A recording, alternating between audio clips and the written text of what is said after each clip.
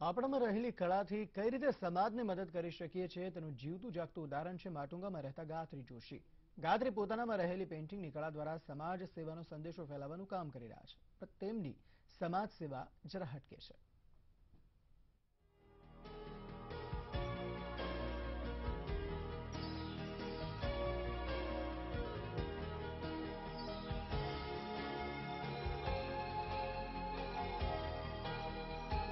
દિવાલો પર દેખાતી આ પેઇન્ટિંગ્સ એક નજરમાં તો માત્ર પેઇન્ટિંગ્સ જ લાગે છે. પણ જો તેને ધ્યાનથી જોવામાં આવે, તો આ પેઇન્ટિંગ્સમાં તમને કંઈક સંદેશો વાંચવા મળશે. આ બધા સોશિયલ મેસેજ છે, જેને પેઇન્ટિંગ્સ દ્વારા પ્રસ્તુત કરવામાં આવ્યા છે. પેઇન્ટિંગ્સ દ્વારા સમાજમાં સંદેશો ફેલાવવાનું કામ કરી રહ્યા છે ગાયત્રી જોશી. ત્રણ વર્ષથી મેં પેન્ટ ફોર અ કોઝ કરીને એક પ્રોજેક્ટ સ્ટાર્ટ કર્યું છે. જ્યાં હું બોમ્બેમાં પ્રોફેશનલી હું પેન્ટ કરું. રેસ્ટોરન્ટ હોય હોટેલ હોય કે કોઈક મોટું મોલ હોય, એવી રીતે ત્યાં પેઇન્ટિંગ કરીને એમાંથી જે પૈસા કમાવું, એ સેવ કરીને પછી હું ગામની સ્કૂલ એમાંથી પેન્ટ કરું. ગાયત્રી છેલ્લા અઢાર વર્ષથી સમાજ સેવા કરે છે, પણ તેને છેલ્લા ત્રણ વર્ષથી આ પેઇન્ટિંગ્સ દ્વારા સમાજ સેવા કરવાનું નક્કી કર્યું. તેમણે આની શરૂઆત ચિલ્ડ્રન્સ હોમથી કરી હતી. ચિલ્ડ્રન્સ હોમ્સમાં અમુક કાર્ટૂન ડ્રો કર્યા હતા, જેના કારણે ત્યાંના બાળકોમાં બદલાવ આવવા લાગ્યો હતો.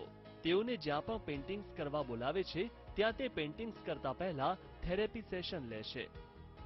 જનરલી હું થેરેપી સેશન લઉં, જે જે પણ વિલેજમાં કે ક્યાં પણ જાઉં, તો એ લોકો સાથે પહેલાં કામ કરું, એ લોકોની શું સમસ્યા છે અને શું જરૂરત છે ત્યાંની, બચ્ચાઓની વિમેનની એવી રીતે અલગ અલગ ઇશ્યુઝ મને ખબર પડે. એની પછી હું લોકો સાથે, ગામના લોકો સાથે વાત કરું અને પછી મને જે પ્રમાણે સારું લાગે એની પ્રમાણે હું સ્લોગન ક્રિએટ કરું.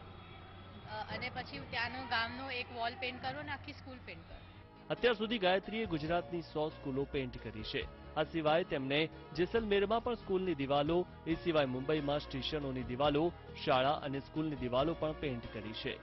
છેલ્લા વર્ષે તેમનું કામ જોઈને તેમને ગિનિસ બુક ઓફ વર્લ્ડ રેકોર્ડની ટીમે તેમને વર્લ્ડ્સ લાર્જેસ્ટ પેઇન્ટિંગ્સ કેમ્પેનમાં બોલાવ્યા હતા. જેમાં ગાયત્રીએ સો બાળકોની મદદથી સાત પોઈન્ટ પાંચ કિલોમીટરના કેનવાસ પર એક હજાર કાર્ટૂન ડ્રો કર્યા હતા. મુંબઈથી કૃપા પંડ્યાનો અહેવાલ ETV News.